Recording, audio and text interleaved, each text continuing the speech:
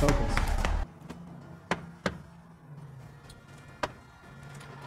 Hope your boy got medical insurance. Yeah.